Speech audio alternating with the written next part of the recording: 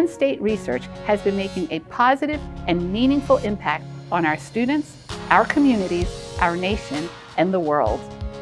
We pursue national and global grand challenges like the CHIPS Act. We're making advances in thin crystals that support the semiconductor industry and national security. And we are developing advances in energy to address climate challenges worldwide. Penn State is one of the leading universities in relation to interdisciplinary research.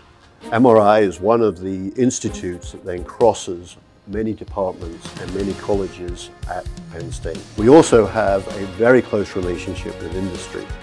And we also run the core facilities, such as the NanoFab, of where over the last 10 years we've been really positioning ourselves for closer and closer relationships for next generation electronics.